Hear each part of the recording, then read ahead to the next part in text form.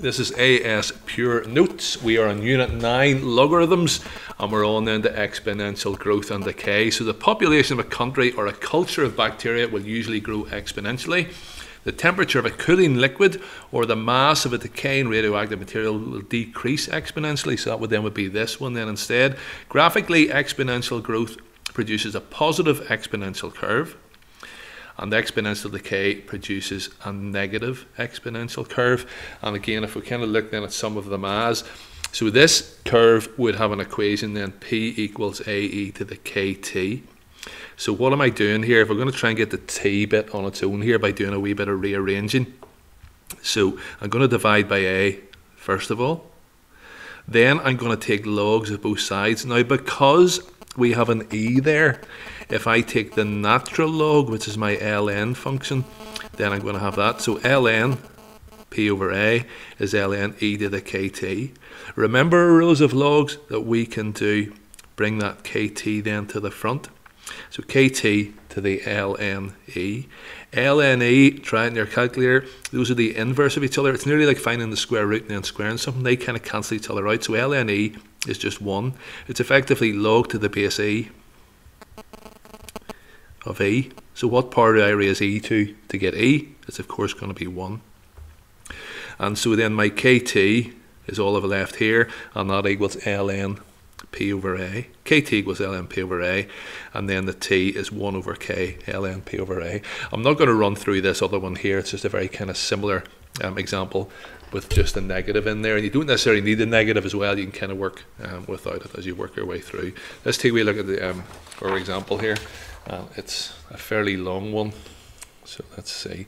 Newton's law of cooling states that for any liquid, theta equals AE to the minus KT. So it's a minus because it's cooling down, where theta is the excess temperature and T is the time in minutes.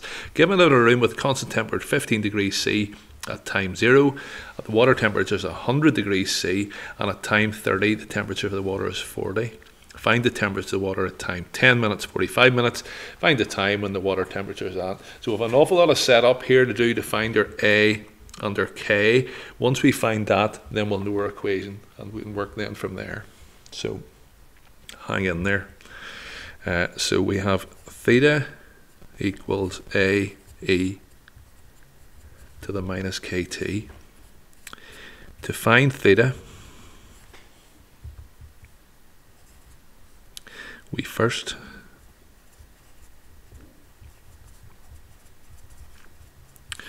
need to know A and K. So we know that when T equals 0, theta is 100 take away 15. So what am I doing there? What they've said is excess temperature. Obviously this 100 degrees, it's, say you have a cup of boiling water, it just cools down and cools down. How low is it going to go? It's not going to go down to 15. It's not going to go below the room temperature. That wouldn't make sense. So the theta here is our excess temperature. So how much higher is this than 15? So it's obviously then 100 take away 15. And that gives us 85 degrees C. Therefore, 85 equals A E to the minus K upon 0. Do you see what I've done? I've taken this equation here and I've substituted in my theta, which is 85, and my t is 0, because at time 0, theta then is 85. e to the power of 0 doesn't give you 0, it gives you 1, of course. So that means our a is 85. So we're up and running. The other piece of information we know is that whenever t is 30, then theta is 40 minus 15. So theta then is 25 degrees C. And this one's more awkward to work out, but that's okay. 25 equals A E to the minus K upon 30. Again, do you see what I've done? I've just I've taken this formula and I've subbed in my 25 and I've subbed in my 30 minutes. So I also know that 25 is equal A we've worked out, so it's 85 E to the minus 30 K. I'm now going to divide my 25 by my 85 equals E to the minus 30 k. Now, do you see what I'm doing here? I'm effectively working my way through this only with actual numbers. This is what we kind of talked about earlier in the video. Uh, going to take logs in of both sides as we did the last time and remember it's natural log so it's ln 25 over 85 equals ln e to the minus 30k that gives me ln 25 over 85 which is minus 30k ln e ln e is of course just 1 so I end up with ln 25 over 85 is minus 30k. I'm trying to work out the k, I'm nearly there. So ln 25 over 85 over minus 30 is equal to k. Looks a bit messy. Put it into your calculator. Looks even messier. I get k is 0.04073. So my equation that I'm going to use, therefore theta is equal to 85 e to the minus 0.04079 t. And believe it or not, I can't believe I'm going to say this, I'm now ready to start the question. I found the formula I'm going to use, and now I can eventually solve then kind of part A and part B here. Um, so let's take a look then at our next page and we'll see. So we want to use this formula here, so you can't see it, to work out for 10 minutes and 45 minutes, and then the formula again, kind of backwards really for the 70 and the 53. So A,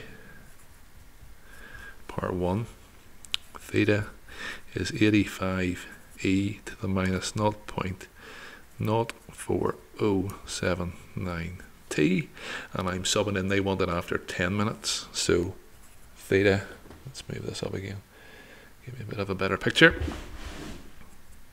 85 e to the minus 0.04079 upon 10 again sub that into your calculator and we get theta is 56.5 degrees. Now we need to be careful, this is our excess temperature, so they want to know the temperature of the water, so we then need to add on. Therefore, water temperature is 56.5 plus the 15, which is 71.5 degrees C. For part two, dead straightforward, I'm just going to use the same thing again. Um, can see that okay, can't we? Yeah. Theta is 85e to the minus 0.04079 t. Theta is 85e to the minus 0.04079. This time they want it for 45. And then theta is 13.6 degrees. Um, water temperature then is equal to 13.6 plus 15 and that is of course then 28.6 degrees C. Uh, part B, we're going to use the formula the other way around, so that's going to involve a wee bit of logs, uh, and we'll see how we get on. So B, part 1, of course we know theta is 85 e to the minus 0.04 0794.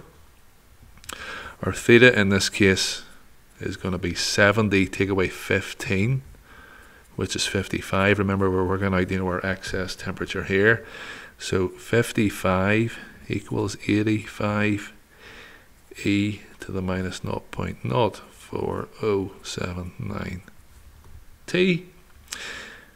55 over 85 equals e to the minus, I'm quite bored of writing this number, 079. T, take a natural log of both sides.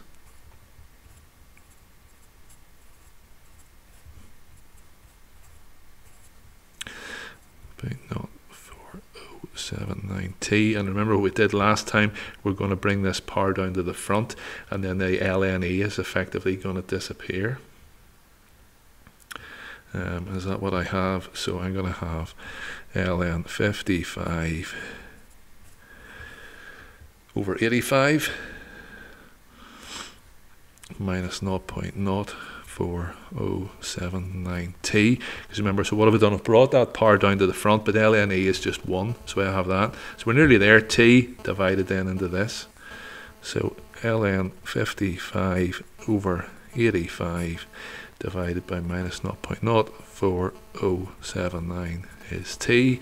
And again, put that into your calculator, you will get t is 10.7 minutes. That's my answer to three significant figures.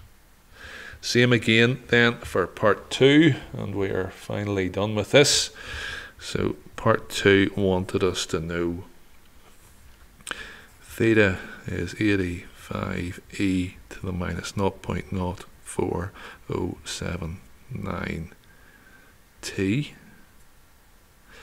I haven't done a T there, but that's okay. Hopefully you spotted that as I was on my way through. That was a T there.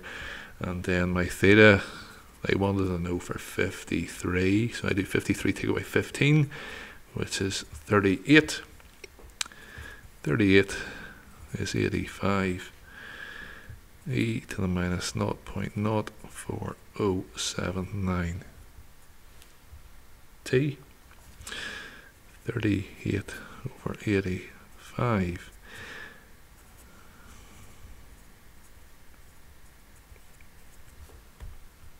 Logs of both sides, natural log of course, 38 over 85. You could use regular log, but it just makes your uh, life slightly tougher. The ln goes very well with the e.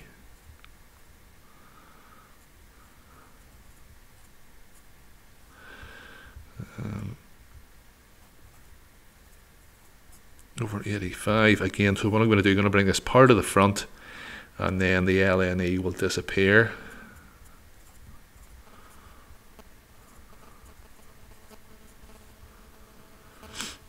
And that's going to give me then ln 38 over 85 and I'm going to divide that by this number here minus 0.04079 that gives me t and again putting it into my calculator I'm going to get 19.7 minutes. Again that is the three